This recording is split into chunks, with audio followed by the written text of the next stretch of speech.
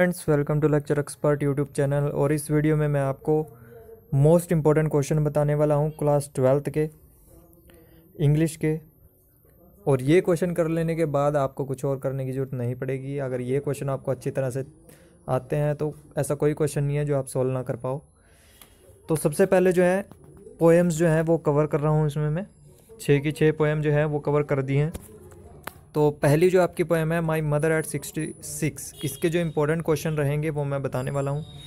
जो पहला क्वेश्चन है, वो है what do the parting words of poet to her mother and her smile signify तो ये क्वेश्चन इंपॉर्टेंट है। फिर आपका सेकंड क्वेश्चन जो है, वो रहेगा what is the kind of pain and ache that the poet feels इसके बाद आपका जो थर्ड क्वेश्चन है compare the world inside the car and outside the car फिर आपका जो इम्पोर्टेंट क्वेश्चन है, अगला वो है justify the title of the poem my mother at sixty six फिर आपका जो नेक्स्ट क्वेश्चन है, वो है what were the poet's feeling यहाँ पे प्रेट नहीं है पोइट है। Poet's feelings as she drove to Kochi airport फिर नेक्स्ट क्वेश्चन है why has the poet brought in the image of merry children spilling out of their homes फिर आपका जो नेक्स्ट क्वेश्चन है वो है how do you know that Kamala Das mother is old and weak अच्छा जो आपके लिए ज़्यादा अच्छी रहेगी, अगर आप गाइड से तैयारी कर रहे हो तो गाइड आपके पास एमबीडी होनी चाहिए, क्योंकि जो पेपर है, हरियाणा बोर्ड का इंग्लिश का, और मतलब इंग्लिश का जो टेंथ का है, चाहे प्लस टू का है, वो एमबीडी गाइड के क्वेश्चन ज़्यादातर आपको देखने को मिलते हैं पेपर्स में तो आपके पास वो ज़्यादा अच्छी रहेगी गाइड वैसे अगर आपको ये किसी भी गाइड में मिल जाते हैं तो ज़्यादा अच्छा रहेगा। उसके बाद आपकी जो जो फ़र्स्ट पोएम है, इससे इतने ही इंपॉर्टेंट क्वेश्चन है। अगर ये आपको आते हैं, ये थीम पता है सारी क्वेश्चंस की तो इसके अलावा कोई क्वेश्चन ऐसा नहीं है जो ना आए आपको। तो poem to an elementary school classroom इसमें जो पहला क्वेश्चन है, वो है how can the condition of the slum children be improved तो ये सबसे ज़्यादा इंपॉर्टेंट क्वेश्चन है। इस पोएम का ये आपको आना ही चाहिए।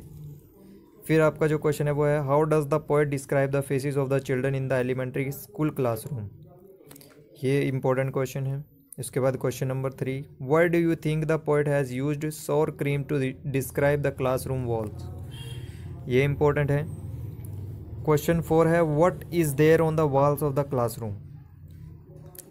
फिर आपके पास क्वेश्चन नंबर फाइव आएगा। What does the poet want to do for the children of slums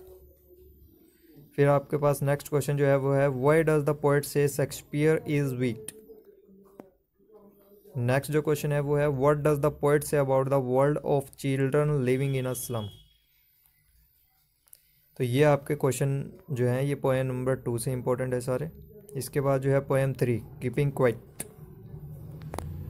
तो ये मतलब जो आप छः पोएम आपकी हैं, इनमें से सबसे ज़्यादा जो इम्पोर्टेंट है ना, वो आपकी पोएम नंबर थ्री है फ़र्स्ट है और aunt Jennifer poem number six है और रोड साइड स्टैंड ये चार पोएम सबसे ज़्यादा इम्पोर्टेंट है। ये तो आपको छोड़नी ही नहीं है बिल्कुल भी। तो क्वेश्चन नंबर वन इससे है do you think the poet advocate total inactivity and death फिर नेक्स्ट क्वेश्चन है what is the central idea of the poem keeping quiet फिर क्वेश्चन नंबर थ्री है why does the poet ask us to keep quiet question number four है what symbol from nature does the poet involve to say that there can be life under apparent stillness फिर इसके बाद next question है what does the poem keeping quiet teach teach us फिर question six है what symbol from nature does the poets use to prove the keeping quiet is not a total inactivity फिर question number seven है what will counting up to twelve and keeping still help us to achieve फिर question eight है why does Pablo Neruda want war industries to suspend their production फिर next है what is the sadness that Pablo Neruda refers in the poem तो ये important question है आपके poem number three से। फिर आपका जो है poem number four a thing of beauty